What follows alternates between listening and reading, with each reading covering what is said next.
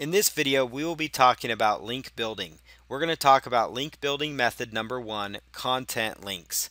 With content links, you're actually creating a relevant and valuable content that you can offer to websites within your niche market. So this is content that's completely unique and it's a barter strategy. So in exchange for them hosting your content on their website and gaining exposure for you to their readers, you're giving them quality, unique content. So it's going to help them out and it's a win-win situation. You gain exposure, they actually gain quality, unique content, which in turn helps their overall SEO strategy as well. So these kinds of, of content that you would create is an infographic. One idea, it's an infographic, which is a graphic loaded with content, information that's well researched and related to your niche market. You could actually outsource the creation of this, you could create it yourself, but an infographic is just loaded with valuable information. So this could be a really good resource that you could leverage that they could host on their website exclusively and have their readers share it. It could be an interview that you do. That could be another piece of content. So maybe it's an interview you've done with somebody, even a written interview or an MP3 that they could then host on their website. It could be a video, a video training course, a video method, a strategy that they could exclusively upload to their website updated news. That is another uh, thing that you could do. Maybe it's updated news related related to your niche market. A guest blog post or article for their site. This is the more common method. It's called a guest blog, and that's where you are a guest blogger. You write a post for them. And what you want to do is you want to look for people that are looking for guest posts or looking for content within your niche market. And you could also find the players in your niche, even if they're not actively saying they want to have guest bloggers or they want content. Sometimes the best ones to contact contact are the ones that aren't necessarily pursuing it. And this would be a good chance to get in touch with website owners and players in your niche on Facebook, on Twitter, on LinkedIn connect with them, get to know them, get to know their brand, their website, what kind of content their readers like, and then you could create a really high value piece just for them. And so you could contact people until you get a yes from somebody and you could create that contact. Or the other idea here is you create the content first and then you shop it around to the first taker that will take that unique piece of content, whether it's an article you've done, and it needs to be of the utmost quality. So the article maybe 500 to 1,000 words or more, super high high quality article. You want to look again for the authority sites in your space that could use your content. Use Google to find these link opportunities out there. So you could do Google searches for your keyword phrase. You could do things like uh, golf, uh, do simple searches for your keyword, golf magazine, golf blog, golf information, golf tips, and look for what kind of main websites come up. What websites are people actually looking for in your niche? Do a Google blog search and look that those up, uh, that information up. Use Google Blog Search again to identify blogs in your niche that you can create content for. Find places that your market or client's market hangs out. So whether it's an online forum, if it's a special social media site just for golfers, there are many of those kind of sites out there. Find out where your target market is hanging out. What websites do they frequent? And then you can see if you can get content in front of them. What are the big players in your niche? And a simple Google search for like golf training, golf tips, uh, dog grooming, whatever the case is, those are the types of resources you want to come across. You could do the phrase golf, and that's going to bring up more industry uh, sites, bigger sites, larger sites within your niche that are the higher authority sites. They're going to show up in the first 10 results, and those are the kind of sites that you would want to pursue for your content first and get yourself listed on those high authority websites. It's a slower method of link building, but it's highly effective when you do land the right deal. It takes time because you have to create a completely unique, high quality resource, uh, but again, it's highly effective because you got to create the resource and find somebody that will host it for you or that is willing to to actually add your content to your website with a link back to you. But if you can accomplish this, you're going to be way ahead of the game. It all starts though with a good quality content piece. And at the end of the day, if you don't find any takers, which is highly unlikely if you put in a lot of effort to research it, you could always use that highly unique content that's quality on your own website and then start over again until you find a piece of content that fits with what they're looking for. Link building method number two, this is where you try and get local community involvement and try and obtain some backlinks. Uh, this one takes longer time commitment and it's it's definitely a lot longer time commitment. It involves you literally creating buzz around involvement in your community. So it's something you're doing within your community. Whether it's running free classes to help people in your community, whatever the case might be. So let's say you're a weight loss or fitness coach and you are reaching a global audience. You reach a very large audience with your ebooks, with your training, or maybe with your affiliate site. And you want to go out to your local community though and run free classes to teach people how to lose weight, or free classes to teach people simple at home exercise routines, or teach computer classes on how to, to use certain pieces of software. This could be a great opportunity for you to run free classes in your community, speak at local events or school functions, host a giveaway or a contest locally related to your business to kind of generate some buzz. Start a scholarship offer. So that means you could offer $500 scholarship for people in your community or people graduating from a certain high school. Develop a partnership with a local business. Participate in a local charity event. Get involved there. Build value in your community and then get links going into your website. So again, it's good to be involved in your community. That's a huge thing. So you obviously, if you're going to get involved in your community, don't just do it because you want to get something back. Uh, but if you are going to do some sort of community involvement, think of it as a way as another place that you could get a backlink as well. Leverage the PR, public relations, for your involvement with a press release and then use that to get backlinks obtain links from the local group you were involved with as well. So if it was a local chamber of commerce and they let you host a class, ask them if they would be willing to link to your website because you've added value to them. They may be willing to link into you. Those local chamber of commerce websites can actually be loaded with value in the backlink because Google views chamber of commerce sites as a high authority website the school blog that would be enormous. If you were speaking at a school and they had a blog or a .edu domain or uh, a Washington you know wa.gov it's a government type website linking to you or maybe it's a charitable organization that you helped and volunteered with a link from any of these sources is going to be absolutely huge. And that one link could propel you way far beyond your competition. So this method here is one that again it's going to take time. Actually just about any of these link building methods nowadays take time and they take effort. That's why it's all about pursuing the quality links which getting a link from a chamber of commerce, a school blog, a charitable organization those are super quality links and so they're worth your time but it does take more effort than it used to take to get backlinks it's no longer just emailing webmasters and trying to get backlinks or writing content and just submitting it into 10,000 places it's all about being uh, focused and taking hard action towards a specific goal resource links. This is where you create a resource that will be popular and interesting for your niche market. So in, in this one, you're actually going to host this content on your website and prospect or look for sites that will link to it. So it's kind of different from the other method where you're creating a unique piece of content uh, in method one where they actually host it on their particular website and it's just found on one website. But in this case, you're creating a super high value resource that other websites in your niche would want to link into. So look for sites with a similar resource list and ask to be included on that resource list. So go out there. Uh, you could actually look for sites that maybe have a resource related to the top fitness bloggers or the top weight loss tips or the top whatever. Find resource resources within your niche on other niche blogs or other niche sites that people frequent and maybe contact them and say, hey, I have a great resource that maybe you could link to as well to add to your article. Don't just look for any site to get a link from. Again, it's all about having quality backlinks. Make sure you're getting a link from a trustworthy site. And remember, again, a few quality inbound links will go a long way for you. Research the content before creating it. Make sure it's super high value. Make sure it's something your niche market wants.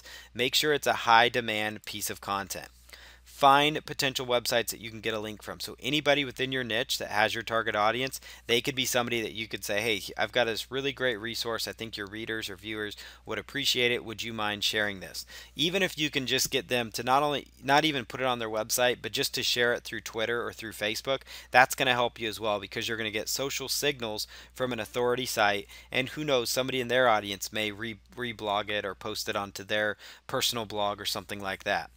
Look for information that is out there within your niche that you could improve upon as well. Be very focused on the user value. Super high quality content is how to make this link work for you.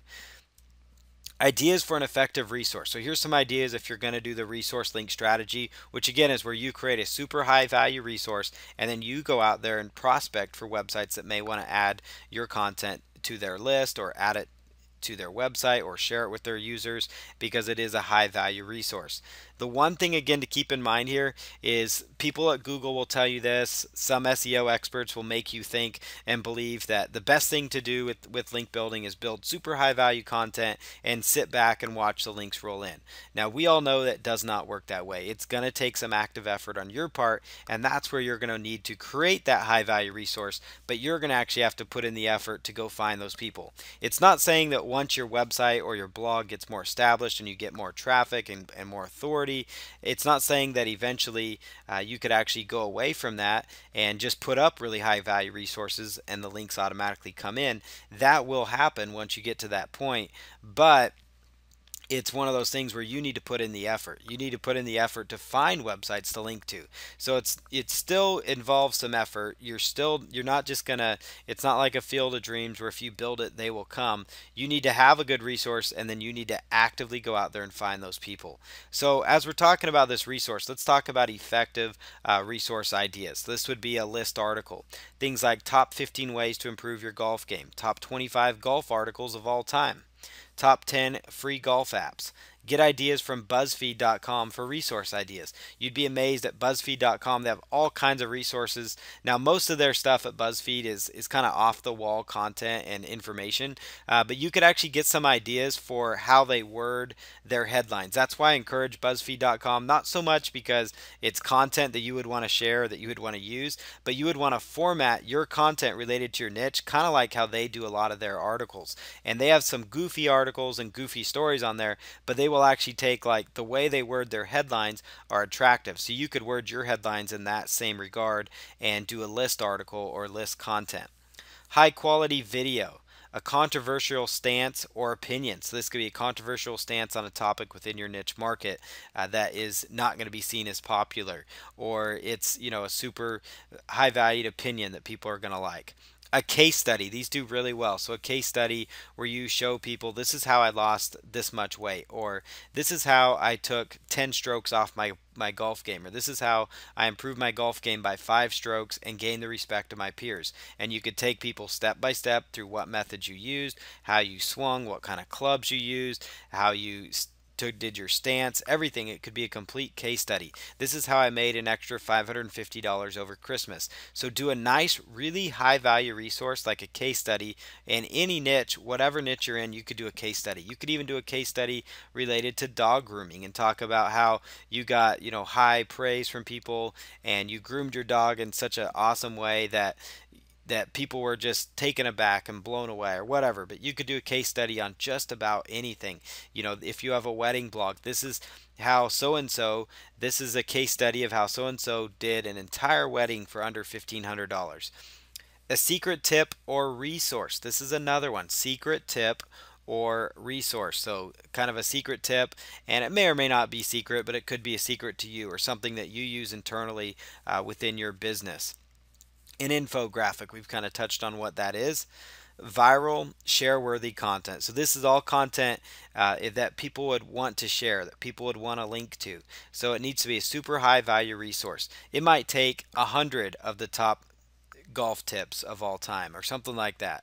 Top 10 golf tips or top 100 golf quotes of all time or top 55 golf movies. These kind of things, you know, they may seem, uh, you know, not the most valuable to you, uh, but it's actually stuff people will want to link to, people are interested in.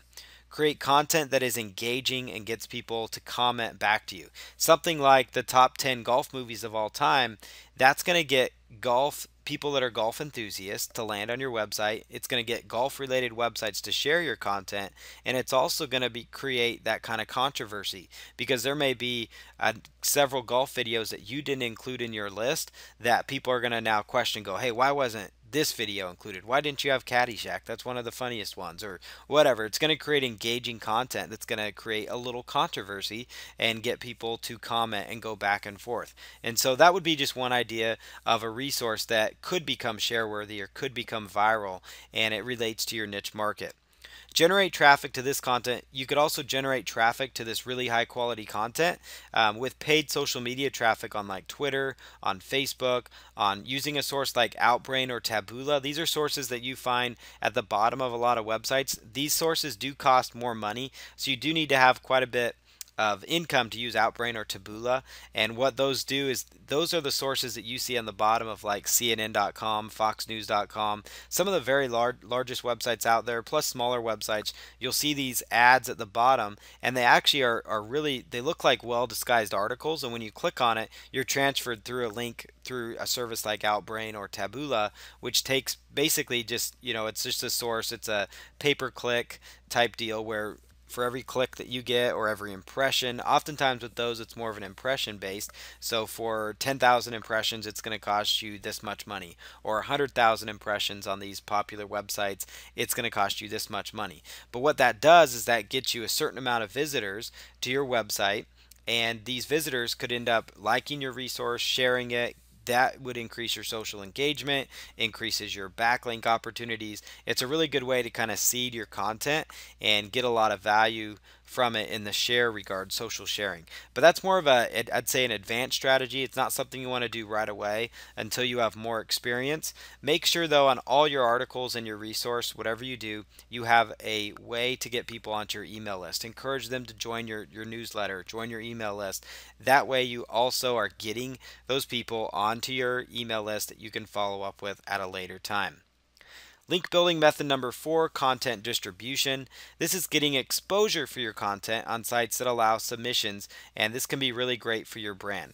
So Web 2.0 sites that allow you to create quality user-generated content can provide some inbound links and exposure. So these are sites, it's not as difficult to get links here. You're actually creating, again, high quality content that's going to benefit the user, but you're actually creating it and actually submitting it right onto these websites. It's not as effective as they used to be, but it's still a valid way to get traffic because these sites can still get a lot of traffic and results. Consider how much free traffic these sites can get for you. Traffic, again, is all about exposure. If you are found a thousand times on the internet, then there are a thousand different places where people could find you, as opposed to just being found on a hundred different places.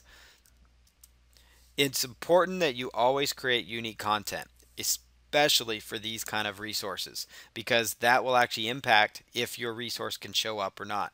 And that's where eventually to have a really quality link building campaign, you need to have a paid writer on staff. And it may not cost you that much money. Even if you're a small one man operation, which many of people are, you could outsource for $5 an article or $10 an article. So you need to have good quality content created by people sites you can submit your content to. And again, these are subject to change at any time. Uh, but this is squidoo.com. It's where you create a page loaded with content uh, related to your niche market. So you have all kinds of content there. It could be RSS feeds from blogs, it could be unique articles and content lists that you have created, uh, those types of things. Hubpages.com, ezinearticles.com. These are three of the larger websites where you can create unique content on them and then actually get a backlink going. Again, these are subject to change. If any of them aren't there, uh, you can also do a search on Google using the phrase related colon hubpages.com, related ezinearticles.com, related squidoo.com. And what that does within Google is that Google will actually go and say, hey, here's websites that are related to Ezine articles, or here's websites related to hub pages. These are the three more authority ones, but there are many other content sites that you could actually create content for and submit it on there without having to go through the approval process. This method is a little quicker in the sense that you can take your content piece, instantly go out to Ezine articles articles or Squidoo and have that content listed out there. It might take a few days to get approval, uh, especially on like Ezine articles, but again, it's one of those where you could have a link going into your site. And this is one though where you don't want to focus way too much time on because it's not going to benefit you too much if you have a pile of links coming from Ezine articles and no links anywhere else. The reason you want to be out there though is because Ezine articles can send you a lot of individual traffic because they do rank well in the search engines and they've actually done stuff to improve their rankings uh, more recently. They had a big drop off and they've actually improved things again uh, by making content unique and really quality. Uh, Squidoo.com, HubPages.com, they're always looking at ways to maximize their traffic as well, which in turn helps you also. And so getting your content content there is going to be key, but you also don't want to get like 25, 30 links from Squidoo. You want to try to get one or two really good links from Squidoo, maybe find a few other sites you can do this with, and then focus on some of the other link building methods that we're discussing here. So here's another idea. If you go to related colon uh, squidoo.com. Uh, what you're going to find here is another site called Wizzley.com. It's a writers community. Uh, there's Helium.com. These are all additional sites similar to Squidoo. Uh, and then if you go up after you find the site Wiz, uh, Wizzley there, you could do related colon Wizzley and find another site. There's Zujava, which is a site where you can uh, write similar to Squidoo. notice Squidoo shows up when you do a related search for Wizzley, and then another one, Seekyt. So these are all additional websites, uh, Seek YT, um, that you could actually go to and actually submit your content to and get additional exposure from a high authority Web 2.0 site. Search for relevant sites that allow content submissions as well. So see example below. Um, this is where I'm using the phrase fitness uh, for the keyword. So this would be like guest blogging, blogging as it's oftentimes referred to.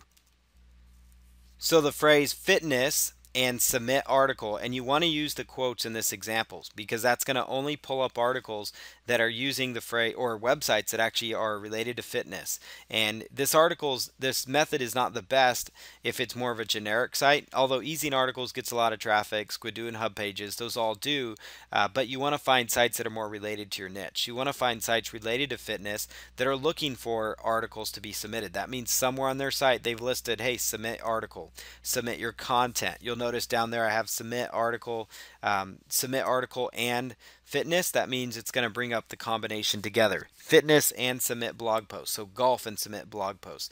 Dogs and submit blog posts. Dating and submit blog posts. Weight loss and submit blog posts. So you get the idea of how this is going to work. Submit article fitness. Submit content fitness. Guest post fitness. So you can try it with quotes, without quotes on the keyword, and also uh, using quotes most of the time uh, when you're going after like the phrases submit content, guest post, submit article. So an additional way to get content distribution, notice if you do the phrase fitness and submit article, it's going to pull up 444,000 results that are actually using the phrase fitness and submit article. And then you need to kind of weed through and see which ones would be good, which ones wouldn't be best for you, uh, those types of things. But here's one like if you were in the fitness space, uh, Hive looks like Hive Health Media looks like a pretty quality potential source for you um, where you could actually get your content there Uh, indiadiets.com those those types of things. So these are all websites that you could Muscle Mag Fitness. Uh, that's like a muscle magazine. That one's looking for articles. So you want to go to these sites, kind of look at their page rank, get an idea as to how quality these sites are, and it, this could be a really good strategy for you, especially if you're doing it diversifying it. So when I was talking about not focusing on this strategy for just Squidoo, I was meaning don't link uh, put up 25 articles on Squidoo and expect that to have a huge impact on your link building. Remember remember, it's all about diversity. So if you can do this strategy, though, you can see there's thousands of potential sites that you could get a unique content piece written for and submitted to. As long as they have a good page rank, as long as they're a high authority site, a magazine type site like eDoctor Online, that's a pretty high authority website. If you can get an article listed on these sites, it's a big win for you as well. Uh, guest posts and fitness, you'll notice uh, nerdfitness.com, one of the more popular fitness sites out there, they actually are looking for guest posts uh, from time to time, uh, depending on the niche that you're in. Now, this one is fitness, and there's many other ways you could do it. You could type in guest post and golf guest post and uh, you get the idea sports and outdoors. So whatever your niche market is that's what you would include instead of fitness there just to give you an idea. But this strategy is a great one because you can create that content and get it submitted without having to go around and hunt down uh, one or two really good uh, websites. Again those methods all work as well. So every one of these four content link building methods that we've talked about are all super high quality ways to get backlinks and it's going to get you the quality links that you are seeking. So now we're going to talk about more link building strategies in the very next video.